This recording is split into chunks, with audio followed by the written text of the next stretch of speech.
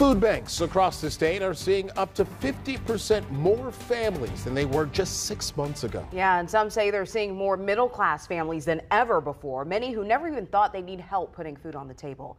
But to help those in need, several nonprofits in Hamilton County made a website called helpforhamiltoncounty.org. And it's not just for food banks either. Creators say this is a one stop shop for those to find any resource they need in any aspect of their life. Typically, you know, someone who is food insecure might also be um, medically insecure, so they might not have access to medical or dental care or affordable housing. Creators say the website will expand by adding more resources rather over the next few years.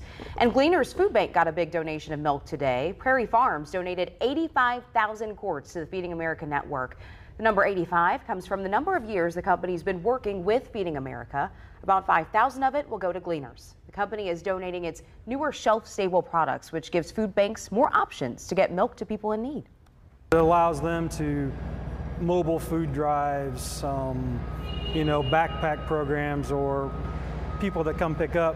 You don't have to worry about the heat shock on this product, getting it from the event to their home to the refrigerator.